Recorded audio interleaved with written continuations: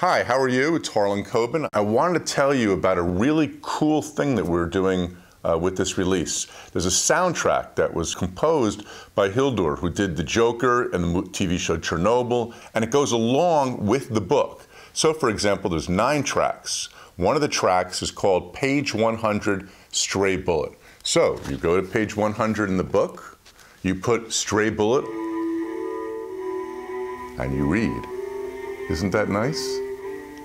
We hope this will kind of uh, enhance your experience mixing music uh, with books and uh, let us know how you like it. And thank you for reading and listening to Runaway.